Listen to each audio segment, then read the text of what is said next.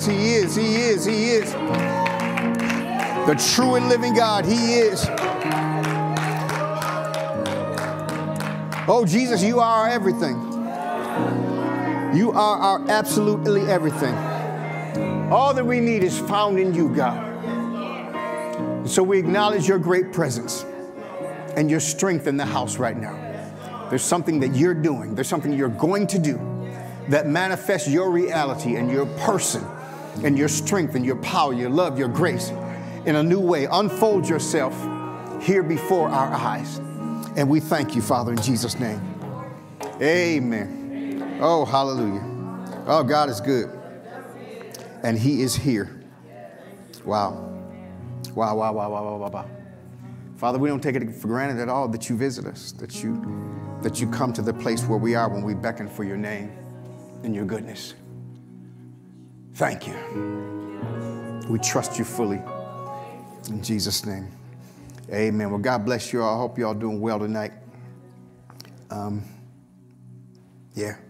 I, I just, um, I, am I'm, I'm just personally grateful um, to God that, that He does mighty things among us. Um, I never take for granted, I never have to be honest, never take for granted one moment that God does show Himself strong. Never take for granted one moment that the saints gather together here. Never take it for granted one moment that people out there in their homes sign on with an expectation of God doing something. Expectation makes a difference, y'all.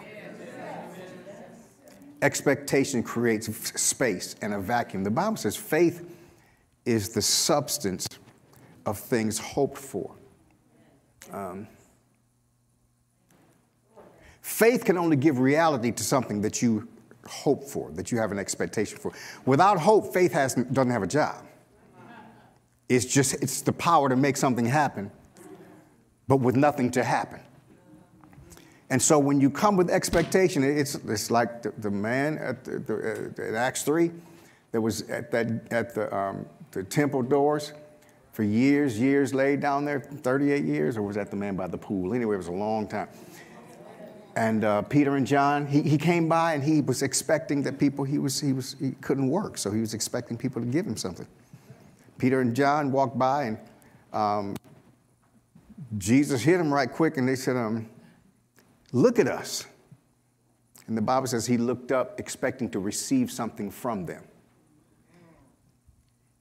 It wasn't what he was, he, he didn't get what he was expecting. He got so much more. But it's the fact that he was in the presence of God. Everybody else who walked in that temple didn't have the connection with God to work that miracle in their lives. But he fooled around and looked into God's eyes, expecting something. All you got to do is come won't.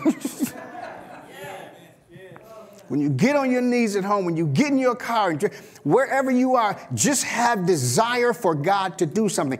Expect something. Um, I remember the song, I'm looking for a miracle. Just that's that's people. That, when people came to Jesus with that in their hearts, they got something. The Bible says that day that Jairus' daughter and the woman with the issue of blood got healed, there were literally thousands of people swamping them.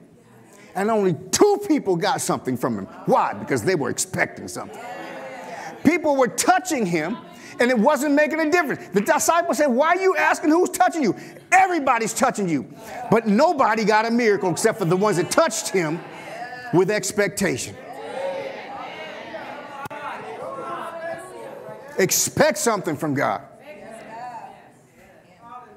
He'll give you something you didn't ask for. I already said, a man at the, at the, at the, at the, at the temple that day, he, he, looked, he was looking for arms and he got legs.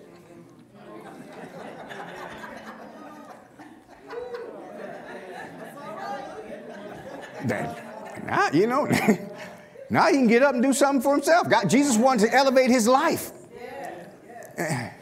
Oh, thank you, Jesus. so we're um, continuing in the renewed mind, um, session three. The subtitle is The Called.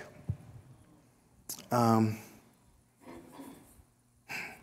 everybody in here has a call, and, and the degree to which you recognize that, it, it, It, it, it helps God to prepare you for it. Now, it's not an uncommon question for people to wonder what I'm called to do.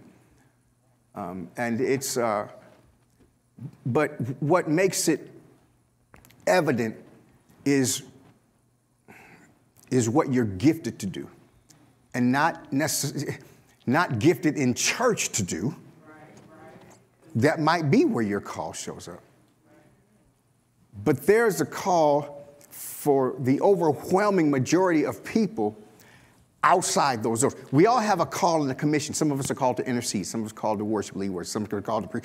Inside the, uh, inside the kingdom of God, there's something for everybody to do. But I'm talking about what is God putting in your hand? He asked Moses, what is that in thine hand? Moses has been carrying that thing around for 40 years now. A rod, and he's using it to guide sheep and, and, and, and ward off wolves and, uh, uh, he it had a hook on the end, so he can grab a sheep by the neck and pull him back if he was in real danger. Had something else on the other end that he could get with uh, uh, uh predators. He carried that thing for 40 years. And when God called him at that burning bush, and Moses was doubting himself, God, he, Moses said, Why would they believe me? God said, What's that in your hand? He said, It's a rod.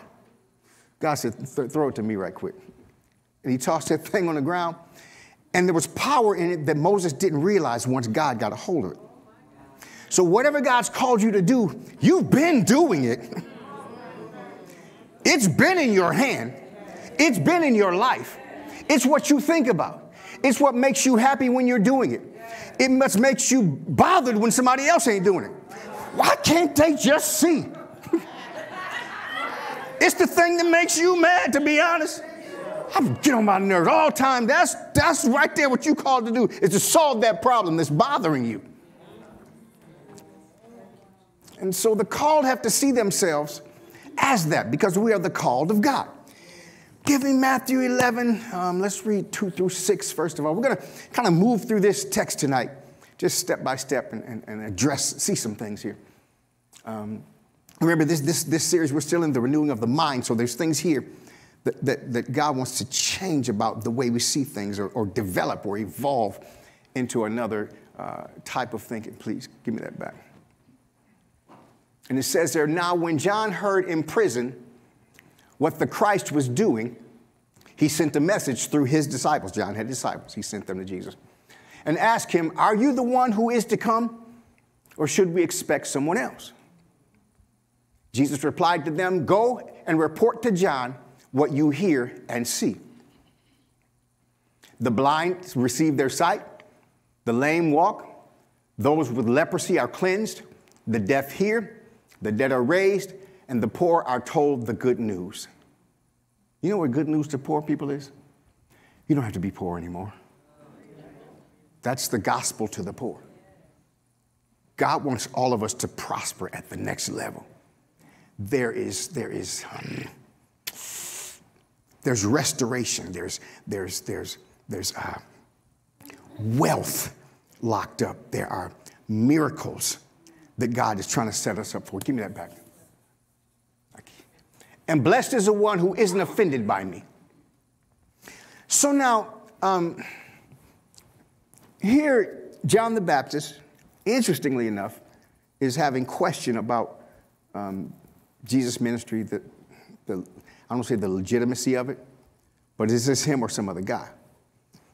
And in the King James, it says, go show John again Show and again are actually the same words uh, in the Greek. And so, really, what he, he told them was go tell John and tell him again if you have to. And tell him again if you have to. It's interesting how Jesus treated John in this situation. Because John had given his life to be the forerunner for Jesus and to get the path straight, get people's mind in the right kind of way. John said, The kingdom uh, of God is near. The kingdom of God is near. The kingdom of God is near. And then Jesus came on the scene and the kingdom of God is here. So John was getting people ready to follow Jesus, pull them out of their norms. People left their homes and went out into the wilderness. Um, they started hearing a message repent, think different, for the kingdom of heaven is close. So they began to arrange their lives for Jesus. And Jesus' response when John said, Are you the one? Instead of saying yes, he said, Go tell him what I'm doing again. Remind him of what's happening. Why did he respond that way? Because God doesn't coddle the called. He cares for the called. He provides for them, He takes care of them, He loves them, He has grace and mercy on them.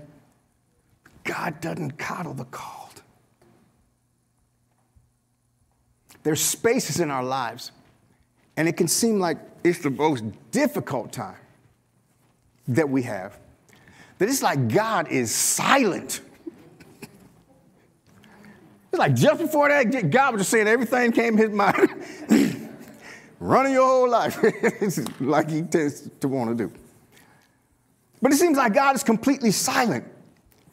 But the issue is, he's only silent about the things we want to hear. When we get in spaces like that, when things get difficult, you tend to know how you want it to work out. We have a narrative as to how I can get from here to here. God, I don't want this happening anymore. I want this happening now. And that's what we listen for. But since God ain't saying enough, that we can't hear it. so we have certain things we want God to say, and we can't hear what He's actually saying. If God is silent or seems silent, it may be because I've turned off the channel He's talking on.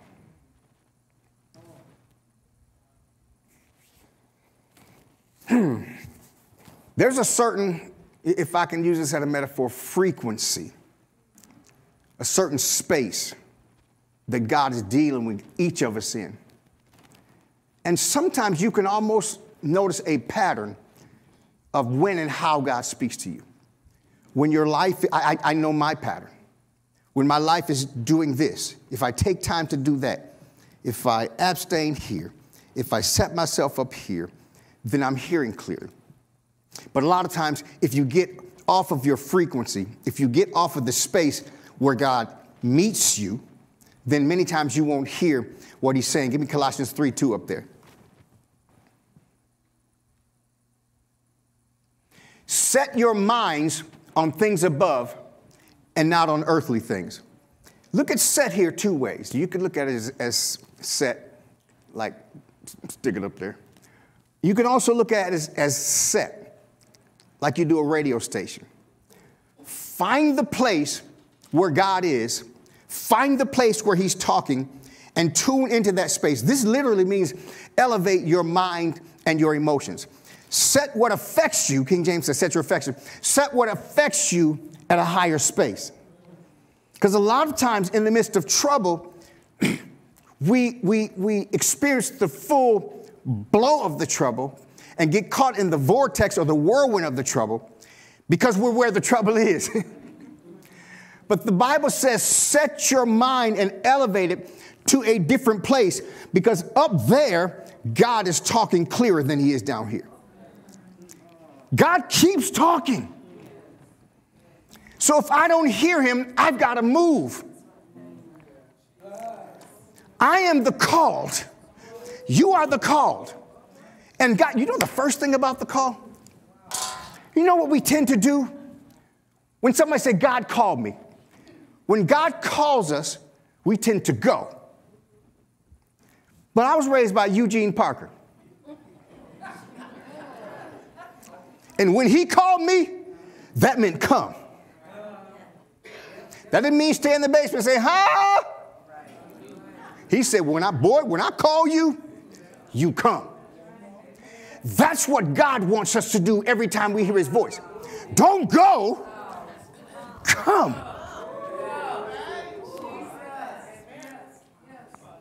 And that happens over and over and over again in your journey. When you feel like the, the, the, the well has run dry, it's time to stop going and come to the one that can tell you where to go sit at his feet, and let him refresh you. So there's a conflict here. Let's look at the conflict. Give me five, uh, one and, uh, did I mean? Yeah, St. John 1 32 uh, through 34. And John testified, this is the same John the Baptist. I saw the Spirit descending from heaven like a dove and rested on him. This was Jesus when he came up from the water after John baptized. I didn't know him, but he who sent me to baptize with water told me, The one you see the Spirit descending and resting on, he is the one who baptizes with the Holy Spirit. I have seen and testified this is the Son of God. This is the same John in prison saying, Go ask him, is this really him? God, God showed John in great detail who Jesus was. So there was no question. He, he was the witness, he was the first person on earth to know who Jesus was.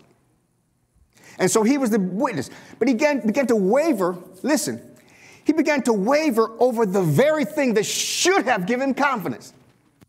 John knew what Isaiah 35 said. He would heal the sick, he would, uh, the deaf would hear, the blind would see. The, all those things that were mentioned here, when Jesus said, Go back and tell him, John was aware of Isaiah 35 with it. So the very thing that should have given him confidence that Jesus and that God was present actually caused him to waver or set him up for the waver. Why could this be true? How is this possible? Because John was going through something at the time. John the Baptist was a man that was full of the Holy Ghost, the forerunner for Jesus. Jesus went on to say he's the greatest man ever born of a woman, but he was going through something. John was in prison.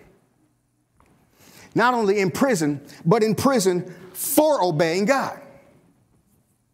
He got in trouble while pleasing God. Has anybody ever had that as an experience? like, really?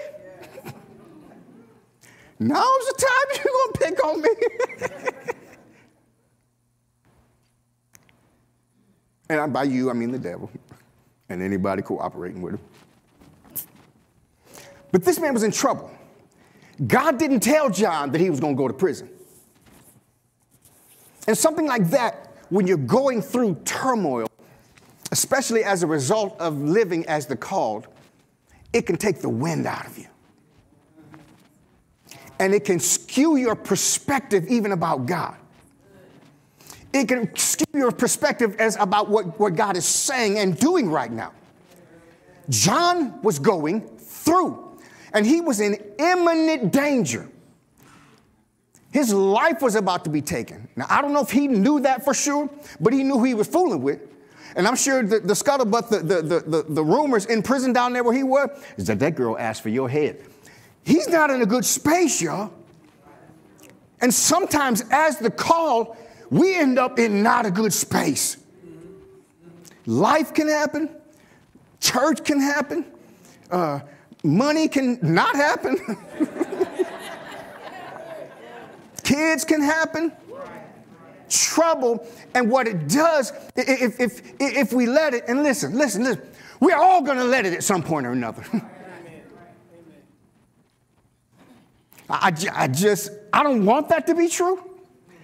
I don't want it to be true that I'm gonna go through something and have to recalibrate my relationship with God to get here, but, but it just, it, it happens in the journey. So this man was in a lot of trouble, and the kind of trouble that some of us get into in our souls and he didn't know it was coming. He was blindsided. So there's the conflict. But then there's a new perspective here. Jesus is still demanding faith from the called, even in their turmoil. He said, Go back and tell John again. He, he, he didn't say, John, okay, I will get to that. Our mind has to be renewed from the world's system. But the world system says, I work, I get paid. I do good, I get good.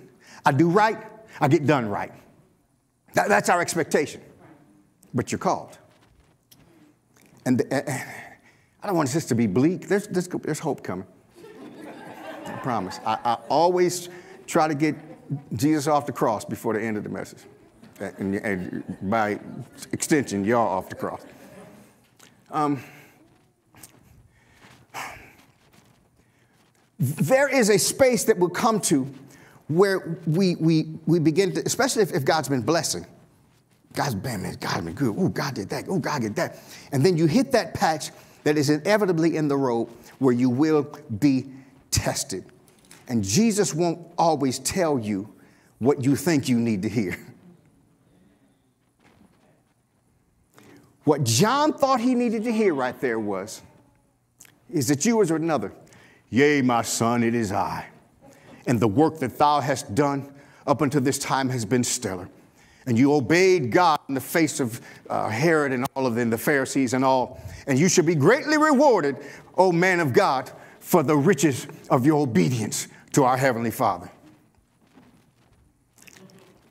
Instead, Jesus said, um, just go back and tell him what he's, I'm seeing again. Sometimes God ain't telling us what we want to hear.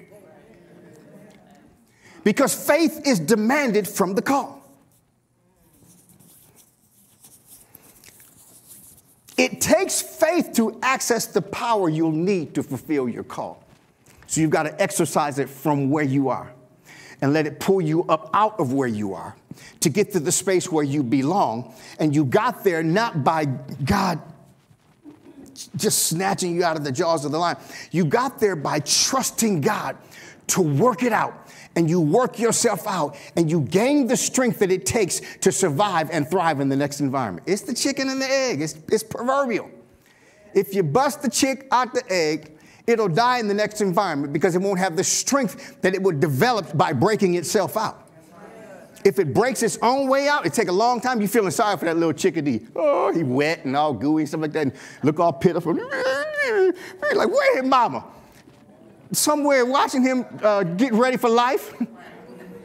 he break his little terrible gaunt little stuff you think he could ever do it. Finally break himself out of there, and then he rickety and frickety.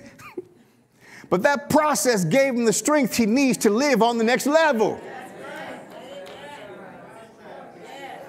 God is trying to give us the strength to live on, to live on the next level. And we've got to set our minds to those moments and those patches in the journey.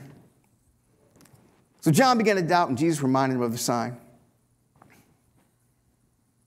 Am I doing what, what you said that God said that I would do? Believing will never be without opposition. He said, he said You're blessed if you don't stumble on, on, on, my, uh, on my account.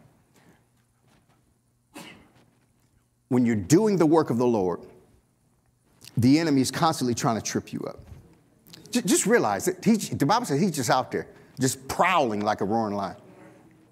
And if you're doing something, we don't want that to happen. And he gets a fair shot, y'all. He gets a chance to shoot at us. And sometimes he hits us. And sometimes it hurts. But don't ever let anybody, including you, come in between you and obeying God. Because God's trying to take something. But be encouraged. Here comes, y'all, y'all can feel better now. give me um, uh, uh, 11, uh, give me 7 through 11 in that same context, in that same uh, text. so this is after they came to, they came, dudes came to Jesus and said, um, John said, are you the one? Is there another one? And Jesus told him what he told him. Go back and tell him what you see. Tell he going to believe God like everybody else. And as these men were leaving, going back to John, Jesus began to speak to the crowds about John. What did you go out into the wilderness to see? A reed swaying in the wind? What then did you go out to see? A man dressed in soft clothes? See those who wear soft clothes are in royal palaces. What then did you go out to see? A prophet? Yes, I tell you, and more than a prophet.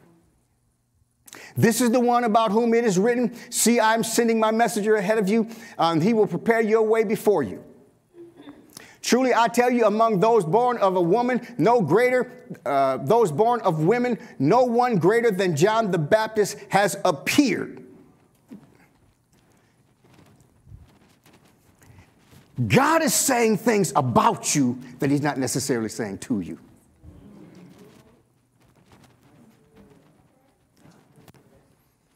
Jesus knew these things about John when that man came to ask him questions. But he did nothing to coddle or comfort John. He gave, he, he gave him parental, strong, boy, get, get up, pull yourself up by your bootstraps and, and, and stay in the game. But as soon as John left, Jesus said, Man, y'all don't know who y'all fooling with with John. he was prophesied thousands of years before he was ever born. You call him a prophet, he's more than a prophet. Ain't nobody ever born of a woman any greater than him. God is talking about you behind your back. Trust me, when things are going difficult, when things are going tough, when it seems like nobody can really see who you are, know and appreciate them, God is talking to somebody about who you are. and when this thing all come together, it ain't gonna be you fighting by yourself anymore. God gonna, gonna uh, round you up a squad. Somebody's praying for you. I I, I need you to believe this. I need to believe it myself. Somebody's praying for you. God's whispering something in somebody's ear. He's telling you, stay on your square. Keep believing. I'm not going to coddle you. Grow up, get it together. But he's coming over here saying to somebody else, I need you to cover them. I need you to give them a call. I need you to send them a text. I need you to give them a gift. I need you to say something to encourage them.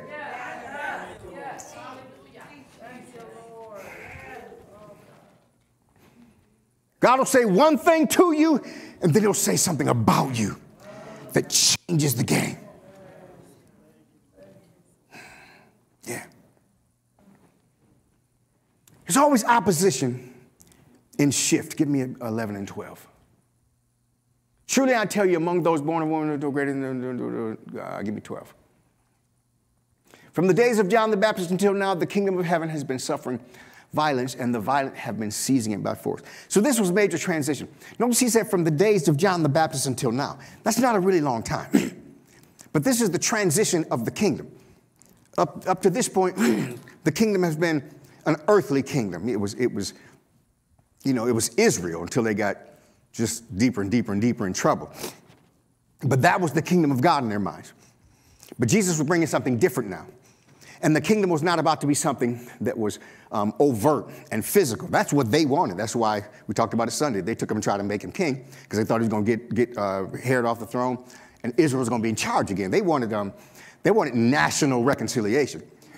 Jesus was dealing with spiritual reconciliation.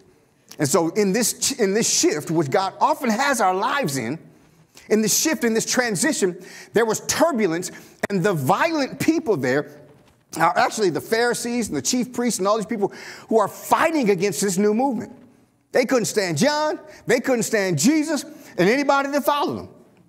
And so they fought against it violently. They you, look at Jesus' life. They every time they would look at him from around the corner on some stupid stuff, y'all. They really look really stupid, to be honest. Like, I, can I say that word? They really did. Check this out. There was a man that had the hand that was withered. it was a Sabbath day. The man came to Jesus. And Jesus was like, he could, he could read their mind. Y'all a mess out here. Sitting back wondering, am I going to heal this man? Would you get your animal, would you get your ox out the ditch on the Sabbath? And so Jesus decided not to touch him to further the accusation that he did something on the Sabbath. So Jesus said, stretch out your hand. The man went, they was like, aha! Aha! Ah, ah! He healed somebody on the Sabbath. Pause and evaluate that statement. He healed somebody. Can we stop there? He worked a miracle. He did something nobody could do, but they ran right by that. Straight to the law and their agenda. He did this uh, stupendous, marvelous, miraculous thing that absolutely nobody else could do but God. But he did it on the Sabbath, though.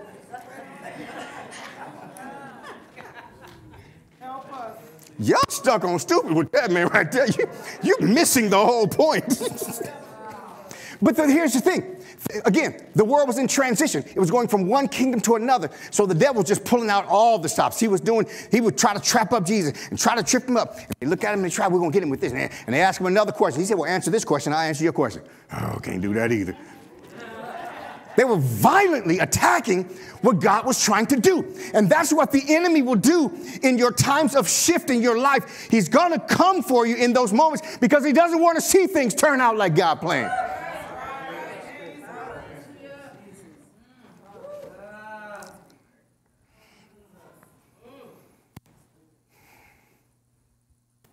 Give me 16 through 19.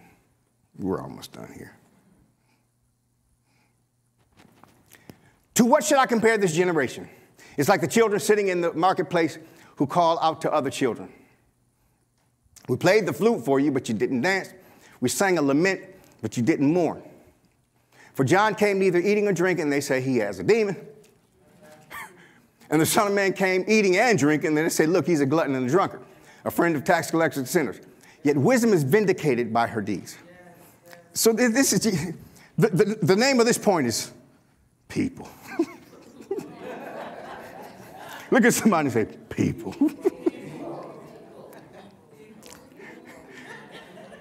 Look back and say, Are you people? Maybe sometimes, I don't know. Hmm. it's like, what else can God do to help you? So, so here, here's what this, let me un, unfold this a little bit. What Jesus is saying is that God has given you every chance to believe. He's given you every opportunity. He sent John the Baptist, who was a devout man, who kept the law, who, who, who went into living in a impoverished life, out there eating bugs and honey, dressed in animal skin, looking wild. He didn't bother to shave because he was so committed to the things of God. And y'all said, he too saved, we ain't listening to him. then I came along and was getting all close and, and loving on people and, and treating them right and treating them like they were somebody. Y'all said, look, he, he, he a drunkard and he'd hang out with anybody. He do so. John was too saved and I'm half saved. what else can God do for you? Sometimes I feel like you just can't get it right.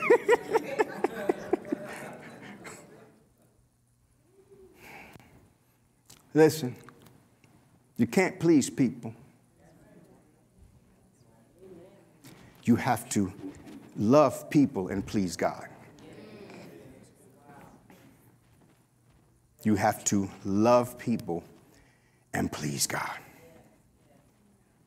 It goes on to say wisdom is vindicated through what it produces. If you love people and please God, the fruit that you bear is going to vindicate the journey that you embarked on. If you do it God's way, you love people and please God, after a while, after a while, it's going to be clear why you made the choices that you did. The fruit cannot be denied. So stay the course, and it's going to become clear that God knew exactly what he was doing, and you did exactly what he said.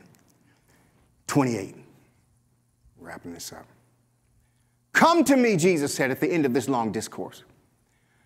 Because he, he, he, he knows that this condition that he's talking about is difficult and that we're going to face it. So he left these words in the earth. He said, Come to me, all of you who are weary and burdened, and I will give you rest.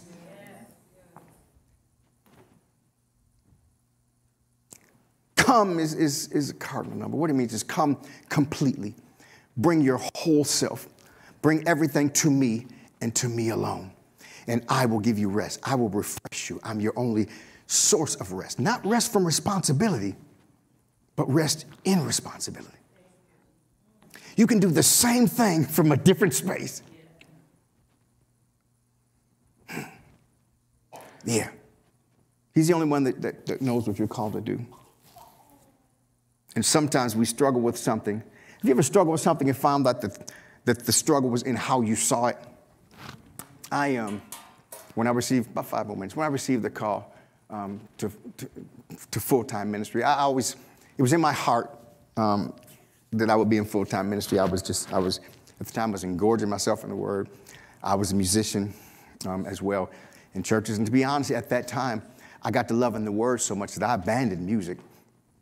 And I was like, well, I'm, I didn't, I'm, I'm, God's called me to something higher than that now. And I just, I was just silly. It took a friend of mine to come to me and say, Do you really believe that God would spend that much time getting you prepared for that? And then just, you just drop it like a, you know, a rag doll or something?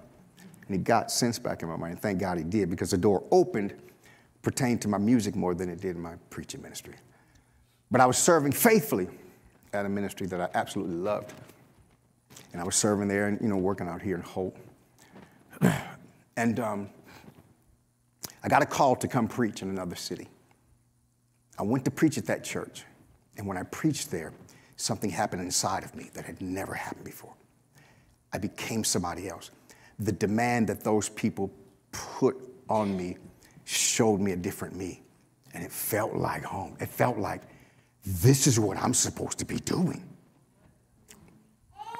As it turns out, that ministry um, actually needed a minister of music, music that I had abandoned.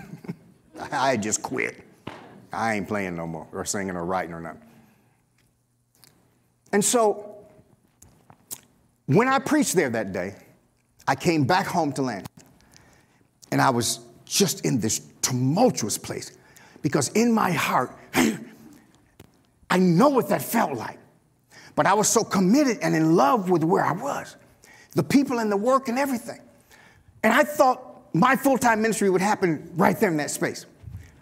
And so for three days, this storm built up me in the confusion. It was uh, by the, by the Wednesday, it was almost like panic attack. I think I've told this before. I was sitting on my desk. I had a metal desk just like this. Only I was pounding on it. Guys, and um, here's what I'm saying to myself. There's no way that God would ever tell me to do that. There's no way God would tell me to leave here. There's no way God would do. He loved these. I love these people too much. They love me too much. What would they do without me? I'm just probably, there's no way God would say that. This, in the midst of all of this turmoil happening inside of me, I heard myself say this.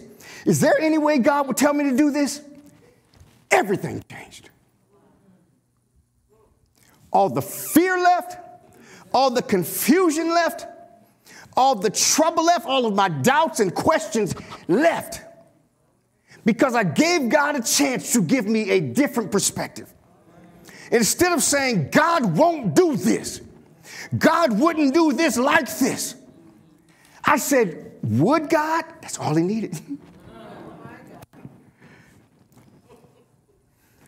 He changed my view and it changed my life. And I stand in front of you today because of that moment right there. God sees what we see, He just doesn't see it how we see it. Give Him a chance to have another conversation with you. He said, Take my yoke, 29. So what the yoke does is it attaches you to Jesus to where you're real close. And you learn to move when he moves. And you learn to move like he moves. There's times in your life when Jesus will bring you real close together. Come on back, come on back, come on back home. come, just, just settle down for a minute. I need to talk to you.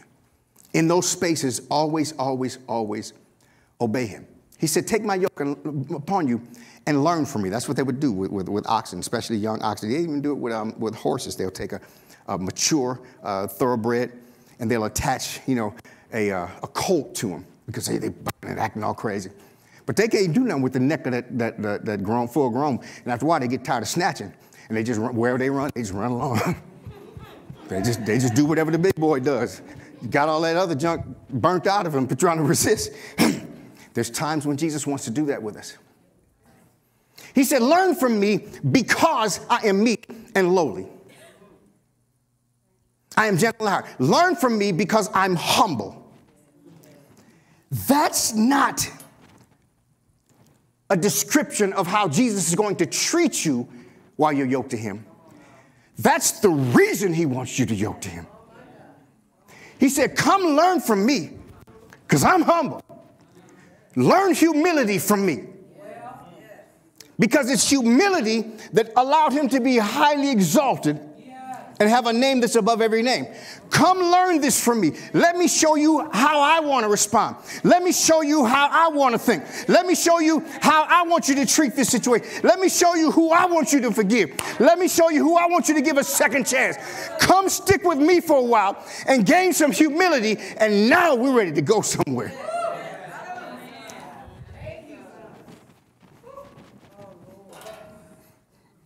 He said, This is who I am. I'm humble, and I want you to get that from me because I know the fruit and the reward of that. He said, My yoke is easy. Why is your yoke easy all of a sudden? Why, why would Jesus uh, stress the point that his yoke is easy? Well, that's because things will be a lot easier if you're walking with Jesus because he's pushing too. I could bust loose from his yoke and try to push my way through life and circumstances and things all I want to. But if I yoke up with him, it's not just my strength. Jesus is taking every step I take. Only his steps got a whole lot more consequence to them, a whole lot more power and I will plow straight through something that I struggled to even get into. And he'll push me through that rough patch and get on the other side. And not only did I get on the other side, but I can look behind me and see where something was sown in the patch that we laid, and God can get things done in that place of obedience. So, Lord Jesus, we come to you. You said, Come to you, all those that are burdened and with loads on us, that are, and that you would give us rest. In, in, in, in the most difficult spaces in our lives, Father, right now, we, we commit, we come to you now. Please show us the way to you. Remind us, we've been there before. We've been in the space before where it seemed like you were standing right behind our ear, whispering or speaking through every sign we saw. If we, that, that space belongs to us with you. So guide us there and bring us into your yoke. We are the called. We are the called. And we want to express you to the full. We want to do your works and show people who you are through us in Jesus' name. Thank you. Amen. So, um, does anybody in the room need to accept Christ? Looks like everybody here tonight is family. Amen. So, Father, speak over this, the lives of these people here. Breathe upon us afresh. Breathe upon us anew. Have a clear conversation with us, God. Um, sometimes your, your voice can get lost in the other noise happening around us. But God, we refuse, we refuse to settle for that. That's, that's not our lot we have a God that is near. You are in us. And so help us clear out the space. We want to bear fruit and more fruit and much fruit.